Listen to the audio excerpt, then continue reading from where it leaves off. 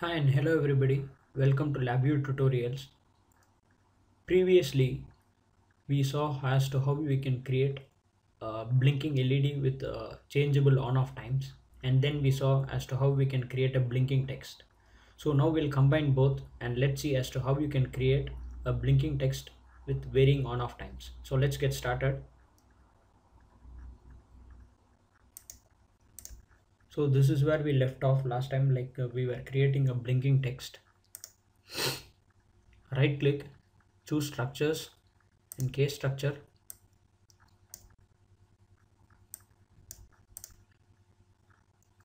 Drag the on control into the case structure.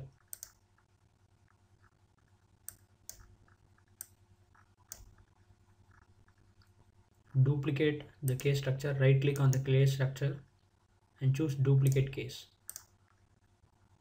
Drop down and choose false case and right click again and choose delete this case. And rename the blank case as false.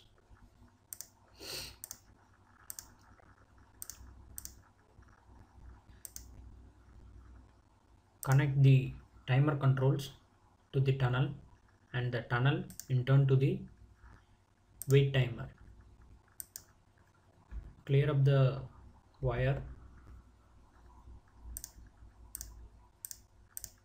So let me change the name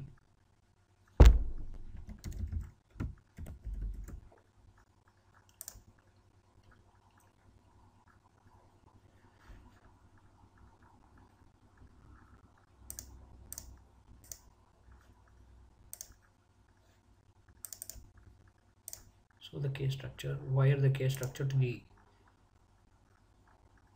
boolean boolean path. Now we are ready to go.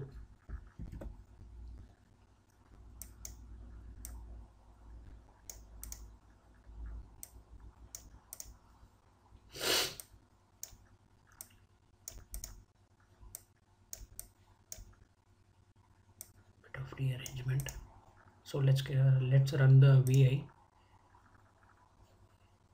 if you can see it is blinking for uh, one second. So let me change the text visible time to 4000 or 4 seconds and invisible time to 1 second. Now you can see the text is not visible for about 1 second and it is visible for 4 seconds roughly so that is how you can independently control your text visibility using controls.